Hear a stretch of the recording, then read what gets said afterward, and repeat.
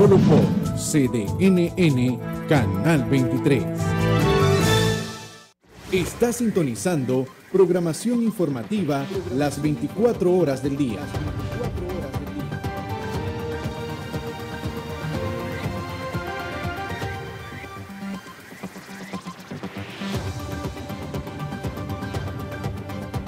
Somos CDNN, Canal 23, Canal 23. Superficial, cambia también lo profundo, cambia el modo de pensar, cambia todo en este mundo, cambia el clima con los años, cambia el pastor su rebaño, y así como todo cambia, que yo cambie no es extraño. Cambia, todo cambia. Cambia, todo cambia.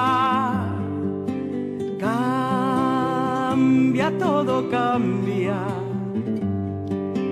Cambia, todo cambia.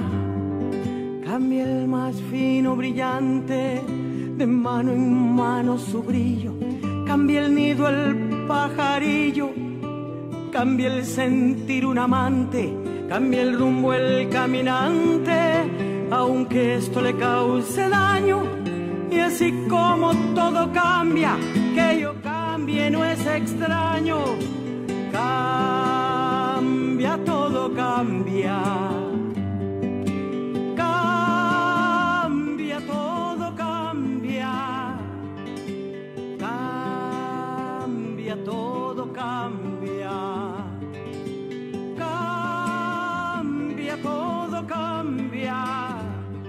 Cambia el sol en su carrera cuando la noche subsiste. Cambia la planta y se viste de verde la primavera.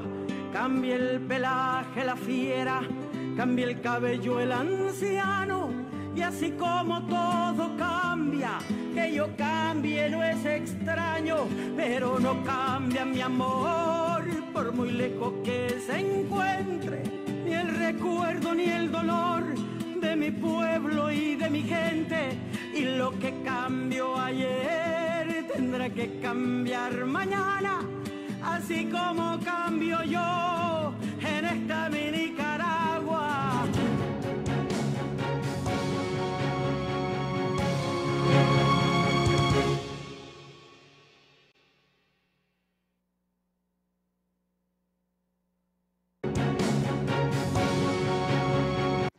Está sintonizando programación informativa. Cambia lo superficial, cambia también lo profundo. A continuación por CDNN Canal 23.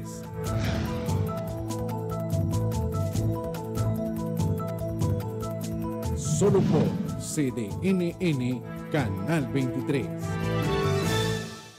Está sintonizando programación informativa las 24 horas del día.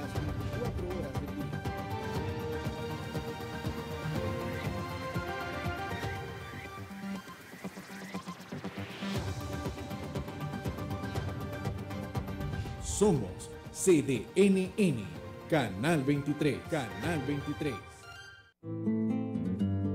Cambia lo superficial, cambia también lo profundo, cambia el modo de pensar, cambia todo en este mundo, cambia el clima con los años, cambia el pastor su rebaño, y así como todo cambia, que yo cambie no es extraño, cambia, todo cambia.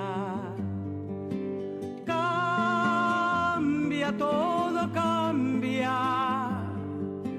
Cambia, todo cambia. Cambia, todo cambia. Cambia el más fino brillante, de mano en mano su brillo. Cambia el nido el pajarillo, cambia el sentir un amante, cambia el rumbo el caminante, aunque esto le cause daño. Y así como todo cambia, que yo cambie no es extraño. Cambia, todo cambia.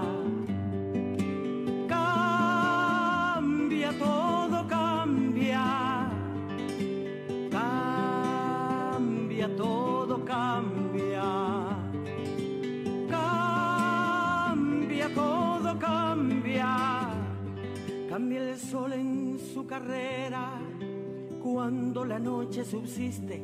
Cambia la planta y se viste de verde la primavera. Cambia el pelaje la fiera, cambia el cabello el anciano. Y así como todo cambia, que yo cambie no es extraño, pero no cambia mi amor, por muy lejos que se encuentre, recuerdo ni el dolor de mi pueblo y de mi gente. Y lo que cambió ayer tendrá que cambiar mañana, así como cambio yo en esta mi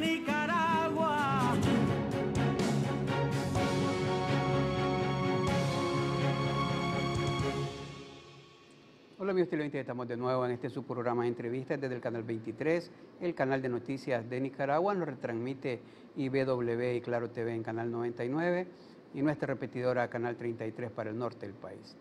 También nos pueden sintonizar a través del internet en cdnn23.com y cdnnradio.com para los que nos ven y nos escuchan a través de la cibernética.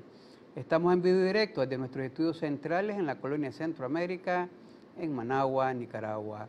Gracias a los que nos ven a través de nuestras redes sociales cuando estamos en vivo directo y a aquellos que también están pendientes de nuestra transmisión online. Me acompaña aquí en estudio, como lo hacen semanalmente, nuestros buenos amigos del Círculo Literario del Adulto Mayor, esta vez don Guillermo Mejía Baltodano, su coordinador general, y se encuentra también don Hugo Vélez Astacio, miembro de este Círculo Literario, quien estará presentando o estará ofreciendo una conferencia sobre Rubén Darío, cristiano y católico agradecido. Vamos a estar escuchando lo que dice eh, sobre esto. Pero antes, don Guillermo, bienvenido a, don Hugo. Gracias de estar aquí con nosotros porque se nos trajo una tropa. Están aquí doña Nubiwón, Chepechú, los dos Pedritos, Pedro, Ciesa, Pedro Rodríguez y Pedro César, a quien saludamos. Eh, Claro. Pasa que hoy es una connotación especial, es el cumpleaños de Plinio Suárez. No me carretee, por favor. que García me y- carretea, después, claro. Ya. El Círculo Literario quiso hacerse presente con una nutrida delegación de amigos, agradecidos también nosotros con eh, el apoyo y la solidaridad que el Canal 23 y este programa Entrevistas eh, nos ha dado el Círculo Literario del Adulto Mayor. Pues hoy estamos, tenemos invitados a mi buen amigo Hugo Vélez Astacio, amigo de vieja data. Eh, nos conocimos en las de, eh, de colegios, después eh, nos vimos ahí en las actividades administrativas. Hugo tuvo varios cargos administrativos y yo trabajaba también en algunas actividades en el Ministerio de la Construcción, Transporte, él fue director de una de las áreas. Eh, lo importante es que Hugo, además de su, eh, eh, su experiencia eh, como profesional, Hugo ha sido un historiador, un investigador y ya tiene publicado varios libros. Justamente en conversación con él, acordamos que diera una conferencia en el Círculo Literario y pusimos la fecha el 22, casi un día después de tu cumpleaños exactamente. Hugo va a estar mañana allá en la Biblioteca Pública Alemana a partir de las 10 de la mañana, eh, dictando esa conferencia importante, nueva para nosotros, para conocer esos aspectos cristianos de, de Rubén Darío. Eh, él se ofreció eh, con gusto y, y con mucha alegría, no solo, aparte de la, eh, de la conferencia que va a dictar Hugo, vamos a tener invitado al declamador eh, Juan Bautista Díaz. Va a, ser, eh, va a declamar dos poemas de Darío. Eh, quiero decirles que los dos son chinandeganos, tanto el profesor Díaz como Hugo. Así que vamos a estar mañana en una actividad de chinandegano. No van a traer un canasto de naranja, sí. No, Ah. pero hay naranjas todavía. Ya no la fumigaron. si la fumigaron cuando comenzó lo del algodón, ¿verdad? Sí. Cambiaron el- la, la naranja por el algodón, todo por el desarrollo. Ahora cambiaron el, el algodón por, eh, por, por, ¿qué era? Eh, ¿En, qué? ¿En la el agricultura? maní. El, Sí, el- ah, en Chinandega. Y sí. entonces, totalmente el cambio. Pero esta conferencia, don Hugo, eh, es de este Rubén Darío, cristiano y católico agradecido. ¿A qué se debe? ¿Cuál es la connotación que tiene? Cuéntenos un poco. Sí, buenas tardes, Play- Plinio. Eh, me siento gozoso de estar en este programa que es bien visto y, de, mucha, eh, de mucha profesionalidad a través de tu dirección. Realmente cuando en público yo hablo sobre Rubén Darío, pues tengo un sentimiento alentador de gran orgullo porque es referirnos al mejor hombre que en la humanidad, que en la historia de Nicaragua ha dado este país. Hablar de Rubén Darío es hablar del hombre que nos dio a los nicaragüenses la identidad con la cual nos conocemos en el mundo. Un, un indio nagrandano, orgulloso de su raza, que con el verbo y la palabra renovó la lengua hispana. Eh, decía Rubén, entre uno de sus poemas, que el hombre tiene mala levadura. Y por, por general, eh, generalmente los hombres lo que se nos queda es lo malo. Entonces, eh, respondiendo a tu pregunta, ¿por qué este tema?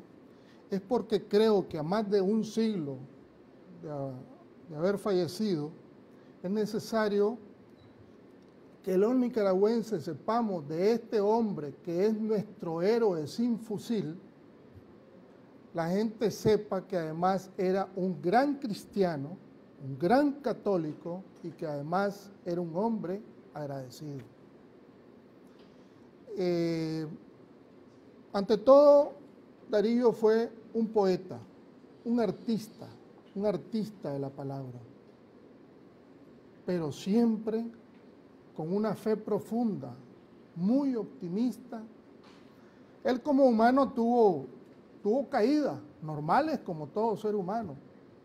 Sin embargo, nunca renegó de su cristiandad y siempre apeló a saltar esos escollos que nos da eh, la carne del mundo, la carne de la realidad, el pecado. Siempre estuvo eh, claro de que para poder eh, estar en bien con Dios, como hombre de bien que era él, porque él era justo y bueno, era a través de afianzar su fe en Cristo, de ahí su misticismo.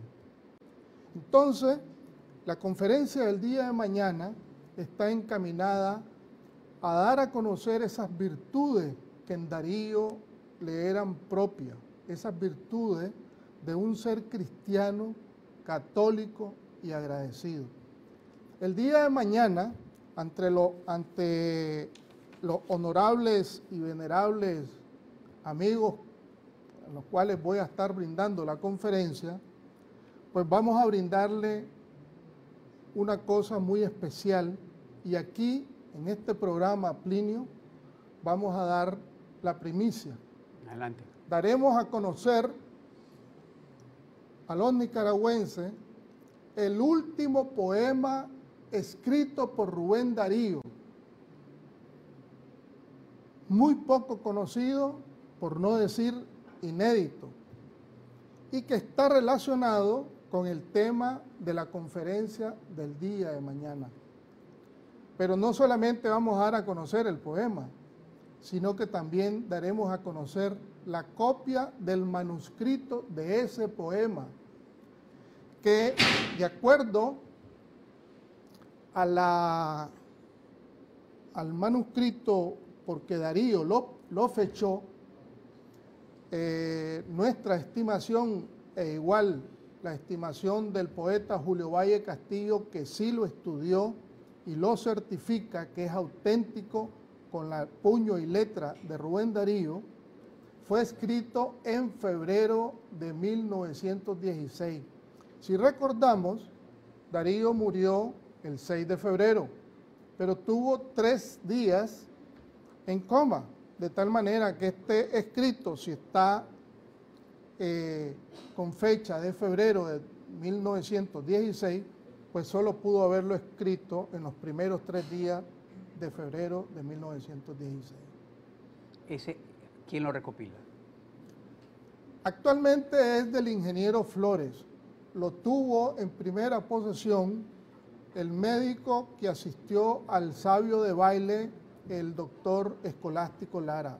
Escolástico Lara fue el poseedor eh, primeramente de ese manuscrito y hoy está en posesión del, del ingeniero Flores. Ahora, e, él lo tiene, él se lo otorga, se lo, se lo presta a usted y usted lo va a estar presentando este día aquí ante el Círculo Literario del Adulto Mayor. Así es, el día de mañana y está relacionado con el tema de la se conferencia. Llama el poema?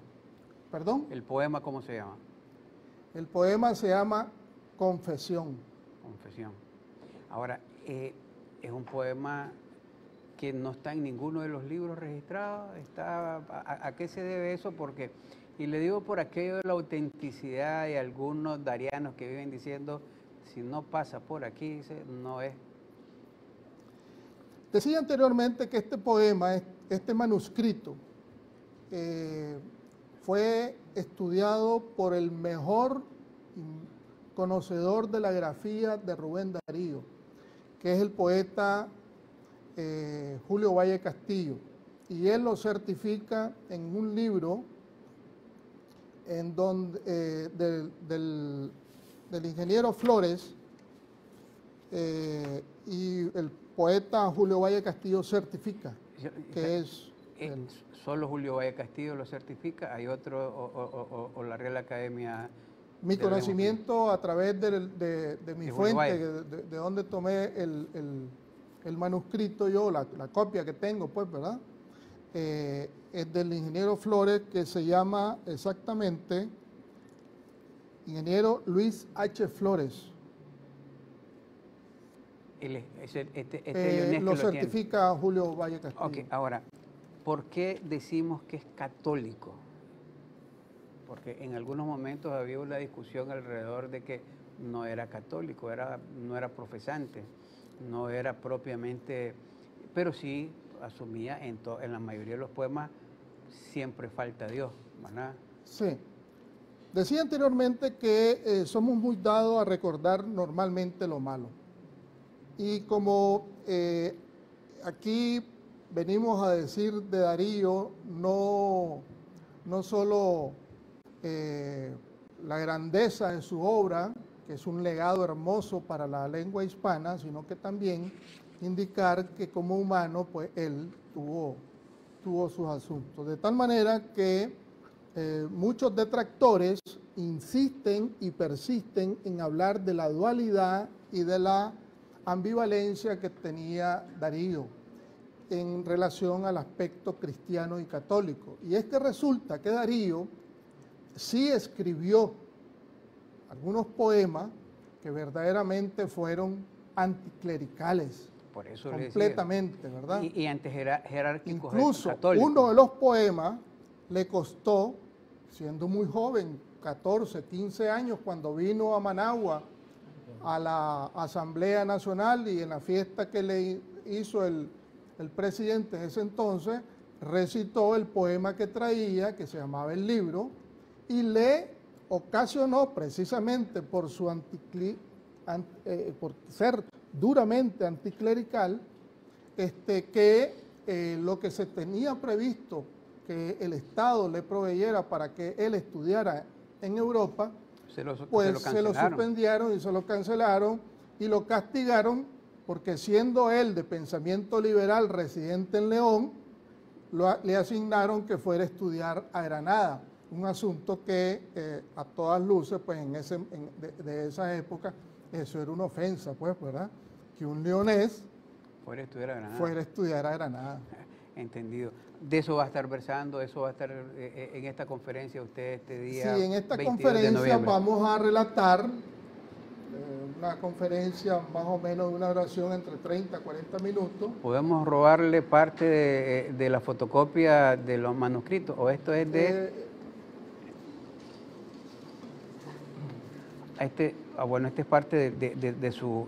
De su de, quién es, ¿De quién es este ciudadano que está hablando? Pues don Hugo Vélez, este chinandegano con el que va a estar dando esta conferencia en los próximos, eh, este 22 de noviembre para que lo vean pero no tenemos el manuscrito ahí a mano. ¿Usted no lo tiene? ¿No lo va a presentar? Habla del manuscrito eh, de Darío. De Darío. Sí, lo sé. Enséñeselo ahí a la CAPSI, eso es lo que queremos ver, porque bueno, vamos a verlo, como dicen, en, primicia para los que no... Es una primicia en el programa de Plinio Suárez. Este es el manuscrito de Rubén Darío, que viene a ser el último poema escrito por Rubén Darío. Eh, como pueden apreciar, fue elaborado en febrero de 1916. Su escritura eh, eh, tiene un, deslizamiento y es propio porque estaba, fue hecho por un moribundo, ¿verdad? En pocos días murió y es una confesión, es una confesión que está relacionada con el tema de la conferencia, ¿verdad? Porque aquí, en cuatro líneas, este bello poema, este hermoso poema, este cristiano poema, ¿verdad? Certifica, así como cuando nació fue bautizado diciendo que era hijo de, Cristo, hijo de Dios, en este poema, él se retira de este mundo agradeciéndole al Señor todo su saber, todo su ser, porque, como bien dice él, con tu amor me basta. Le dice al Señor Jesucristo. Los que quieran saber más de este tema, particularmente invitados a la Biblioteca Pública Alemana, allá en Linda Vista para que puedan escuchar esta conferencia de don Hugo, ¿verdad? Para que ustedes profundicen sobre estos temas que son de mucho interés, ¿verdad? Para los darianos y para todos aquellos que, se que quieren ser cada día más cultos, ¿verdad? Así que, don Hugo, lo felicito, pues vamos a estar dando seguimiento y obteniendo. No voy a querer que me dé la conferencia hoy, pero sí ya Dios enseñó el manuscrito, pues que era el que pretendíamos que motivara a los amigos del círculo literario y a otros que deseen llegar allá a la Biblioteca Pública Alemana. Don Guillermo. Sí, como no, eh, creo que la conferencia de, de Hugo pues va a ser la, la del cierre de año y por eso eh, la... Bueno, ya eh, se van a ir de vago, todo esto. No, vamos a tener otras actividades, pero ya más, más, más privadas. Ya ves, ah. ahí es donde vamos a invitarlo a Plinio para que nos acompañe. Ya van de vago todo esto, señor. No ha terminado en noviembre, apenas, solo porque en el, el aguinaldo algunos, pero una parte se leyeron, no a todos. No, todavía no. Ah a, los adultos mayores todavía no. Este, y, quería decirte que con esa eh, eh, trascendencia que tiene la conferencia de Hugo, eh, estamos cerrando la parte de conferencias y presentaciones del libro de este año. Ya nosotros vamos a tener otras actividades relacionadas a, fin de año, a la Navidad y eso, este, pero ya formalmente esta es la, la última actividad y la queríamos lucir, nos queremos lucir mañana con la presentación de esta conferencia de, Hugo Vélez. Gracias, don Guillermo, gracias a don Hugo y también a los amigos del Círculo Literario del Auto Mayor que hoy nos vinieron a acompañar al queque que nos hicieron aquí pues en el canal. Vamos a hacer una pausa y luego de hablar de este tema de la historia dariana particularmente, de algo acontecido hace 100 años, ¿qué está pasando en el día a día? Tenemos aquí en estudio a Pilar Río. Ella es vicepresidenta de Nuevos Negocios de Comunicaciones Corporativas Ketchum. esto, ellos hicieron una encuesta, valoración sobre cómo usamos este chunche, cómo lo andamos en la mano. Y que ahora para todo lo hacemos. Dicen que hasta ahora hasta el pulso lo pueden medir aquí, pero es bueno, es malo. Nos provocó toda una crisis psicológica durante esta crisis sociopolítica. Vamos a ver qué descubrimiento hicieron. Ya lo han dado contando por algunos lados, pero ahora lo vamos a tener nosotros aquí para que también nos revele parte de esa investigación que hizo Comunicación Corporativa Ketchum. Vamos a los mensajes y regresamos con Pilar Río.